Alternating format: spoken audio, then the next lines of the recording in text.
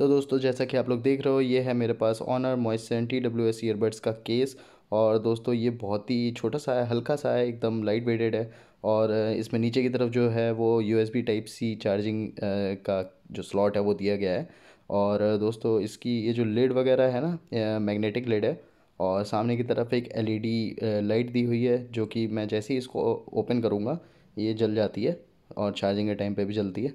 और दोस्तों, जैसे ही मैंने इसको ओपन किया है, आप देखोगे कि ये इंस्टेंट पेयर हो जाएगा।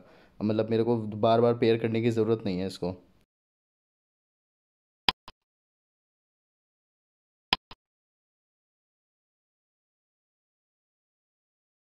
और दोस्तों, जैसे ही मैंने इसको बंद किया तो ये वापस मेरी वॉच से कनेक्ट हो चुका है। और इसका भी रिव्यू बहुत जल्दी आने वाला है दोस्तों तो चैनल को सब्सक्राइब करना ना भूलें।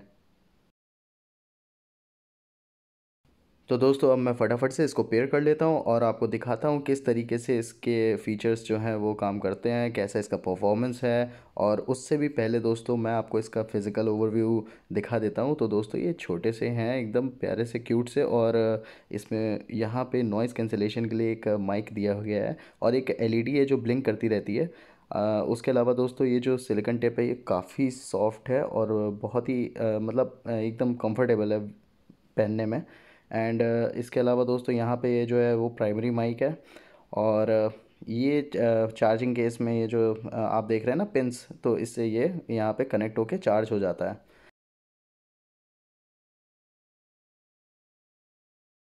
और दोस्तों double tap to play pause music and to take calls इसके अलावा tap and hold to change the sound ये ये जो चीज़ें हैं, ये आराम से इसमें वर्क कर रही हैं और मैंने दोनों ही ईयरबड्स को इंडिविजुअली टेस्ट किया और यहाँ पे आप देख सकते हो दोस्तों, यहाँ पे जब मैंने इस पर डबल टैप किया है तो इसने प्ले कर दिया है। अब मैंने डबल टैप किया तो ये पॉज कर दिया है सॉन्ग को और सेम चीज़ अगर मैं राइट वाले ईयरबड से करूँ तो उससे भी ये वाली चीज़ हो रही है।